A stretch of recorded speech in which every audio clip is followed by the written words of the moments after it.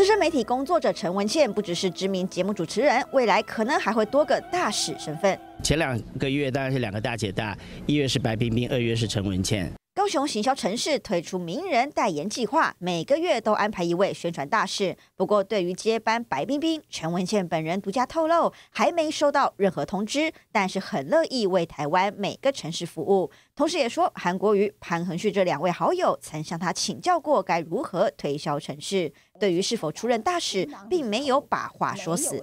他不是为了共党而已，他也就觉得我。老百姓对我是很重要的，就好像他会有情有义啊，哈，然后支持他的人也有情有义。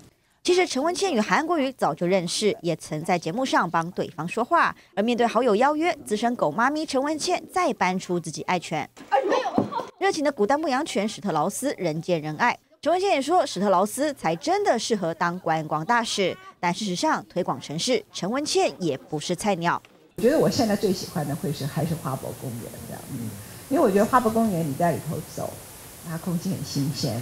二零一四年郝龙斌时代，陈文茜就代言过台北市观光，与郝龙斌一同出访香港，还推荐私房景点，可以说是称职的形象大使，也让外界期待未来如果接下高雄观光大使，又会分享怎么样的私人景点。记者综合报道。